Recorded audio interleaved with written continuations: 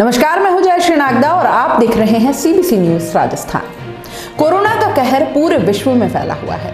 भारत भी कोरोना से एक तरह की जंग लड़ रहा है और इस जंग को जीतने में भारत का हर नागरिक अपना योगदान दे रहा है। इस जंग में सबसे बड़ी मिसाल बने हुए हैं देश की कोचिंग कैपिटल कहे जाने वाली सिटी। कोटा में पढ़ने वाले वो चालीस हज़ार छात्र जो अपने अपने हॉस्टल के कमरों में बंद है। एक तरफ़ कोरोना के कहर के बीच हज़ारों लोग अपने गाँव ढाणी जाने के लिए पैदल ही निकल पड़े हैं।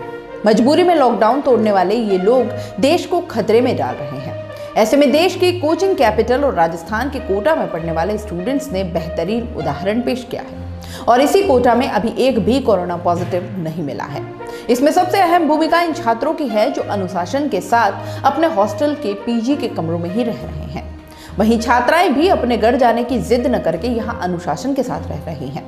कोरोना का एपिक सेंटर बन चुके भीलवाड़ा से कोटा शहर की दूरी 107 किलोमीटर से भी कम है। इसके बावजूद, अब भी 35 से चालीस हज़ार छात्रों ने कोरोना को हराने के लिए अपनी ज़िंदगी को हॉस्टल के रूम से लेकर मेस तक सीमित करके रख दिया है। न्यू राजीव नगर न्यू राजीव नगर राजीव गांधी नगर तलवंडी और जवाहर नगर समेत अन्य जगह हॉस्टलों के कई कमरों में क्रॉस वेंटिलेशन भी नहीं है। सूरज की किरणें भी कमरों तक नहीं पहुँच सकती इसके बावजूद छात्र अपने कमरों में ही रह रहे हैं। परिवार वाले चिंता न करें, इसके लिए वे प्रतिदिन फ़ोन के ज़रिए संपर्क में रहते हैं। जिला प्रशासन कोचिंग संचालक और हॉस्टल संचालक सपोर्ट कर रहे हैं, लेकिन छात्र अपनी इच्छा शक्ति से इस अनुशासन को बना पा रहे हैं।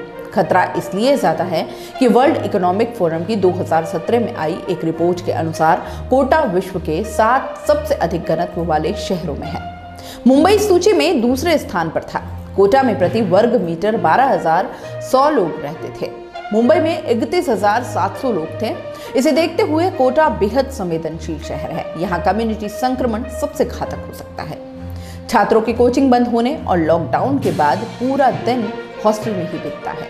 कोटा के अधिकांश हॉस्टल मध्यम वर्गीय परिवारों को देखते हुए बनाए गए हैं। ज़्यादातर हॉस्टल में मनोरंजन की बहुत सुविधाएँ नहीं है। किताबें, इंटरनेट ही फ़िलहाल इनके साथ ही हैं। सुबह करीब 9 से 10 बजे तक ब्रेकफास्ट खत्म होने के बाद ये बच्चे कमरों में चले जाते हैं। पढ़ाई के बाद लंच करने मेस जाते हैं और फिर से अपने रूम में आकर आइसोलेशन का वक्त बिताते हैं। सकारात्मक नज़रिया। छात्र इस समय को भी पॉजिटिव रूप में ले रहे हैं। वे मानते हैं कि जेई मेन और नीट की तारीख आगे बढ़ने के कारण अब इन्हें पढ़ाई के लिए अधिक समय मिलेगा। सीबीसी न्यूज़ राजस्थान की यह खबर आपको कैसी लगी? नीचे कमेंट करके ज़रूर बताएँ। अगर आप YouTube पर देख रहे हैं तो सीबीसी न्यूज़ का चैनल सब्सक्राइब करिए। पास में दिख रहे बेल आइकन को भी दबाइए। ताकि जब भी हम आपके लिए कोई खबर, कोई जानकारी लेकर आए तो सबसे पहले आपके पास नोटिफिकेशन पहुँचे। अगर आप फेसबुक पर देख रहे हैं तो सीबीसी न्यूज़ का पेज लाइक करिए।